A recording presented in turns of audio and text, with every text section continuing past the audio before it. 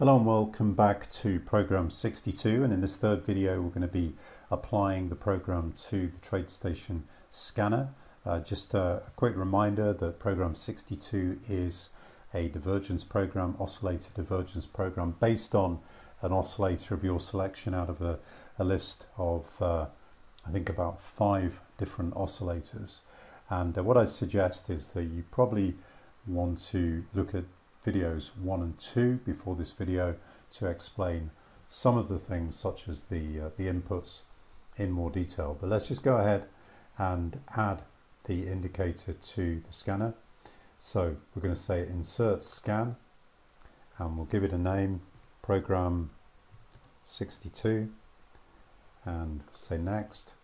We need to include the symbols that we want to scan, find out have the, has there been a recent divergence or potential divergence in a symbol out of a specific list. So what our list is going to be today is S&P 500.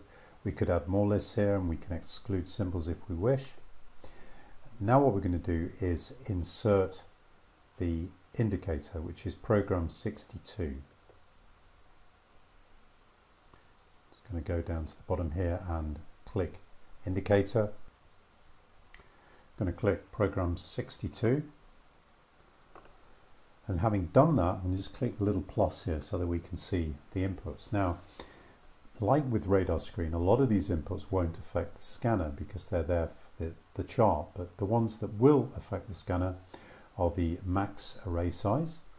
This determines how many pivot um, price uh, oscillator pivot pairs are stored in an array and um, such that each time a new pivot pair is found it's compared with all the pivot pairs in the array. That can be a maximum of size of 5.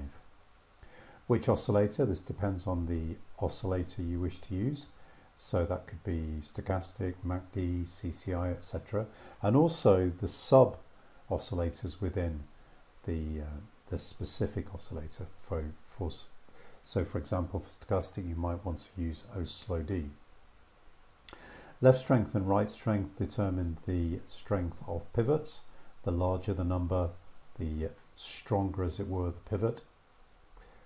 Bar tolerance. This determines how many bars apart a price pivot and an oscillator pivot can be, assuming that they may not necessarily be on the same bar. Now the following few inputs won't have any effect, draw trend line and its associated inputs, uh, normal draw ellipse and its associated inputs.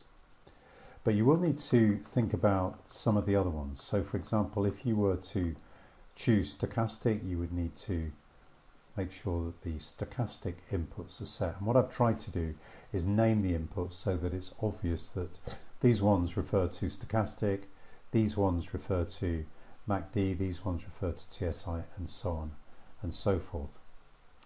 Having done that, keep on going to the bottom here and uh, you'll see the interval. We're going to use daily, but you could use other. And uh, make sure you've got some additional bars loaded. Okay, so just going to go back to the top there.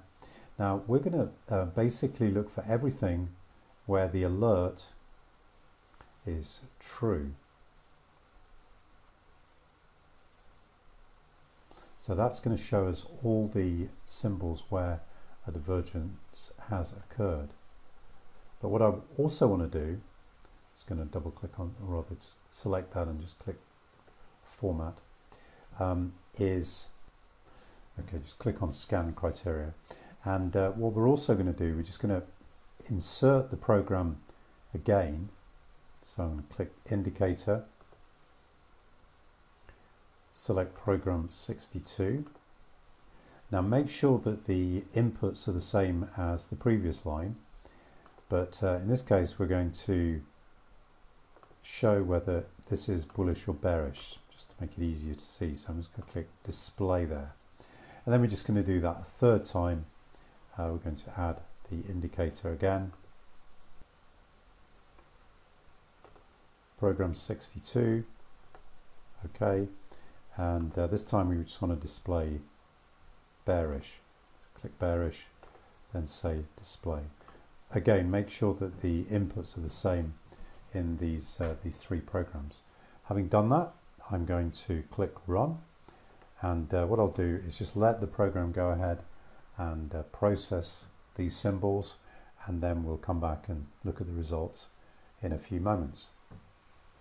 Okay, so we can now see the results and you'll notice the first column is all true, but then that's divided up by some symbols showing potential bullish divergence and some showing potential bearish divergence.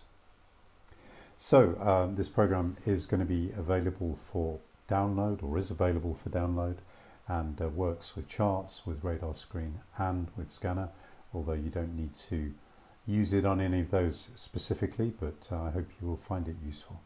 Thank you.